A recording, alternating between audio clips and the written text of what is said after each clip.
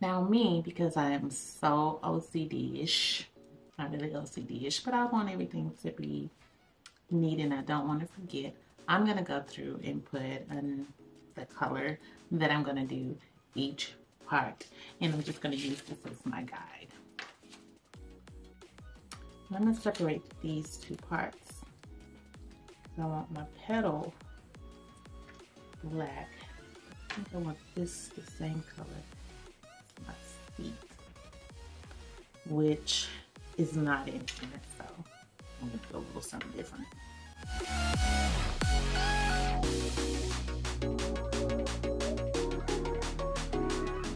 All right, let's get into it.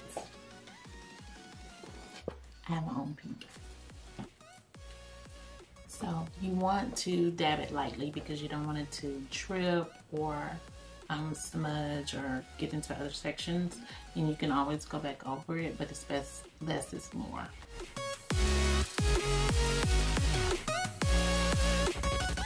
dab it off over here.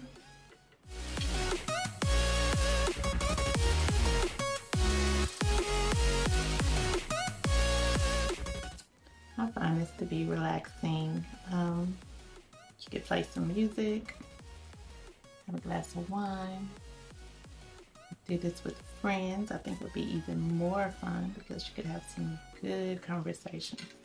I don't think this is a project for anybody that's in a rush. I think it's something that's good for relaxing, enjoying your day, meditating.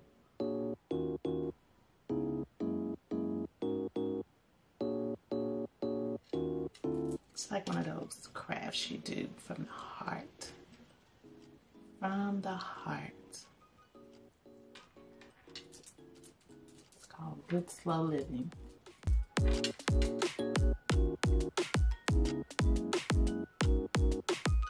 Excuse my bracelet making all that noise.